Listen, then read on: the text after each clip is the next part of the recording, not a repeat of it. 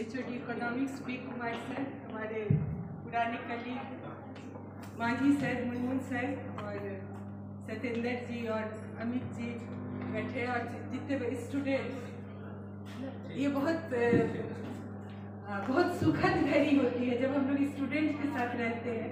लेकिन अभी ऐसी कुछ समस्या भी है कि मुझे निकलना है और मोटिवेशनल हम शायद थोड़ा सा पानी दे दीजिए। मैम, थोड़ा सा।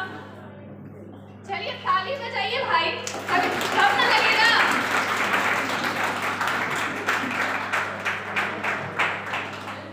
मैम दौड़ते दौड़ते बस हमारे ही कार्यक्रम में आई हैं। चलिए।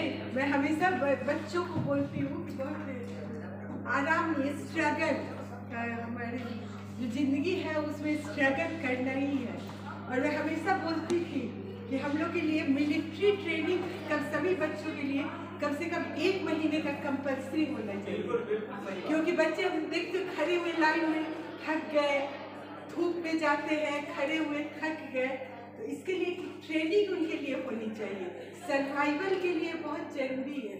आपके सर्वाइव ज़िंदगी इतनी आसान नहीं है जो हम यहाँ देख रहे हैं इतने तक की ज़िंदगी नहीं है। और बस दो पंक्तियाँ आपको मैं हर सुना सुनाती हूँ आराम की तुम भूल भुलैया में न भूलो। सपनों के हिंडोलों में मगन हो के न झूलो।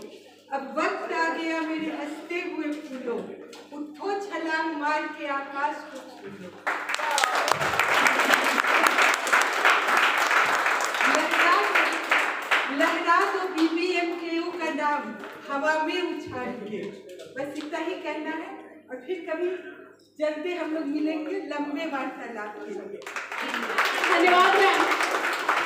ये सच में हमारा सौभाग्य है, क्योंकि आप सभी को पता है कि फ्रेशर्स पार्टी में अक्सर अधिकारी जो है, वो शामिल नहीं होते हैं, क्योंकि बच्चे जो हैं, वो मस्ती करते हैं, मस्ती मूड में होते हैं।